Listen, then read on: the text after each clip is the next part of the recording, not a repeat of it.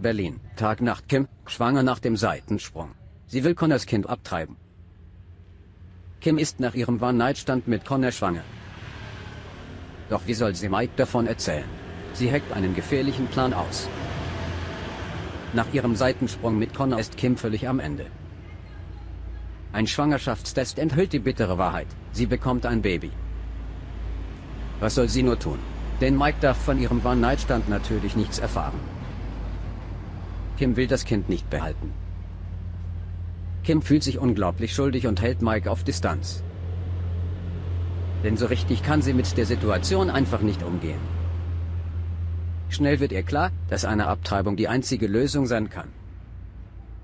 Sie macht sich auf den Weg zum Frauenarzt, um ihre Schwangerschaft zu beenden.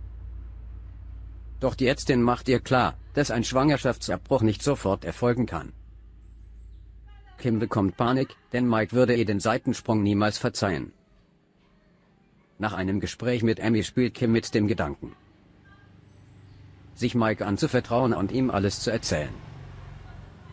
Könnte er ihr den Seitensprung mit seinem Sohn und die Schwangerschaft verzeihen? Letztendlich ist die Angst dann doch zu groß. In ihrer Verzweiflung schläft Kim mit Mike und verzichtet dabei bewusst auf die Verhütung. Will sie ihm etwa vorspielen, dass sie schwanger von ihm ist? Oder entscheidet sie sich doch noch für die Abtreibung?